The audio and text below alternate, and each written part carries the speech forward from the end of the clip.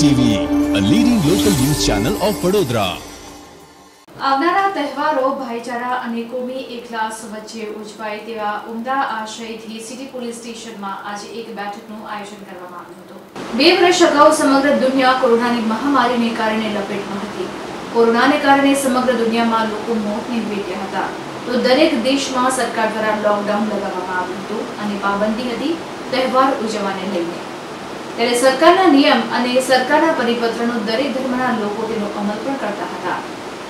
ત્યારે યામસ્થાન બાબા દરગાહ કમિટી દ્વારા ચાર દરવાજા, ગણપતિના પ્રમુખ જયભાઈ ઠાકોર અને જૂની મિત્ર ગણપતિ મંડળના પ્રમુખ વિકીભાઈ સિંધે મળીને આવનારા દિવસોમાં મા દશામાં ગણપતિ અને તાજિયાનો તહેવાર આવી રહ્યો છે.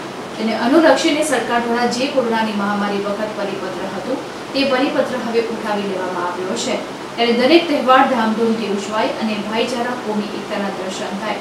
તેને ધ્યાનમાં રાખીને મસ્તાન બાવા દરગાહ કમિટી દ્વારા હાજી દસગીરભાઈ ભોલુભાઈ આજે ડીસીપી ઝોન ચારને સર્વધર્મ કોમી એકતાનું પ્રમાણપત્ર આપવામાં આવ્યું હતું અને ત્રણે ત્રણ તહેવાર વડોદરા શહેરમાં ભાઈચારો અને એકતાથી ઉજવાય તેવી પ્રાર્થના કરી છે.